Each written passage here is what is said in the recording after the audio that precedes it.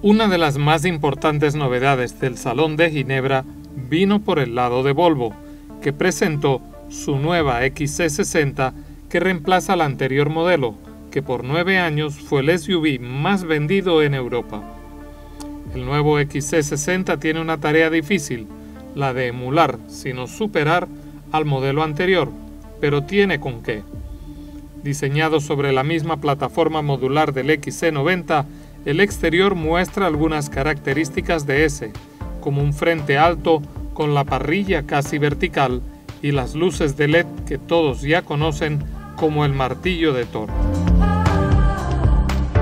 Lateralmente sigue muchos de los lineamientos del anterior modelo, con las luces traseras muy esculpidas.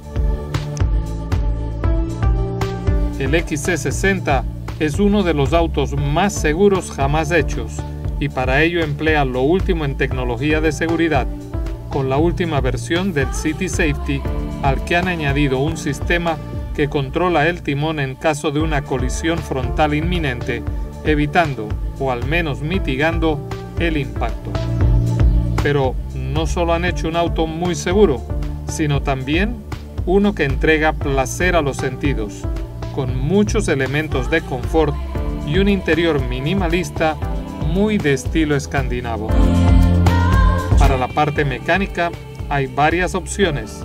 tanto en diésel como en gasolina, aunque es muy probable que a nuestra región solo vengan estos últimos, donde la versión más potente será la híbrida con 407 caballos, mientras que las dos opciones de gasolina tendrán 254 y 320 caballos respectivamente.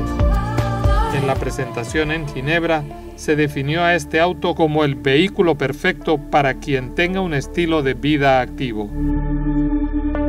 y representa el siguiente paso en el plan de transformación que viene realizando Volvo.